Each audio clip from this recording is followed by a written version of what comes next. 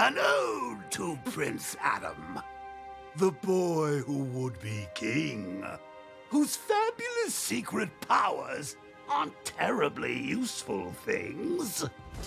He chose sword over royal scepter, but how could he have ever known that he'd descend into the palace dungeon while I ascended to his throne? You played me.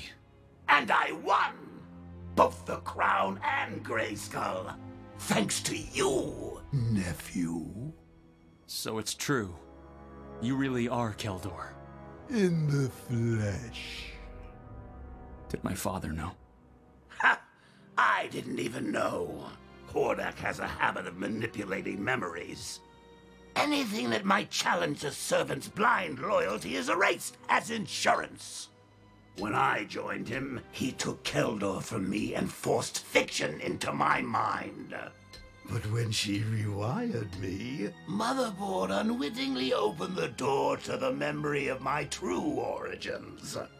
I was a king denied! Yeah. Real kings never bend the knee to invaders. Your brother knew that. Tis a pity his son wasn't as wise.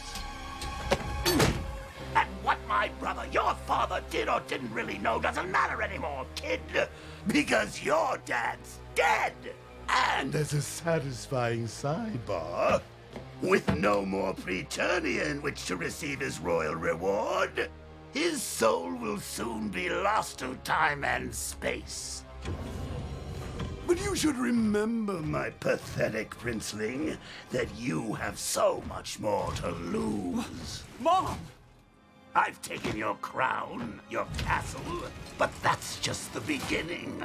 Next will be your family, your friends, and even that new sorceress you're so sweet on. Soon you'll understand what it means to lose everything, just like I did. And once you finally reach the depths of your despair, that's when I'll finish you once and for all. A shame that Motherboard's makeover of Grayskull has blocked you from the power.